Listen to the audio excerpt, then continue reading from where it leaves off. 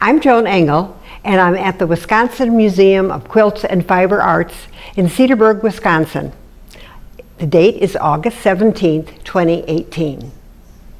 In July of 2011, our children gifted us with a train trip for our 55th wedding anniversary and my husband Larry's 75th birthday.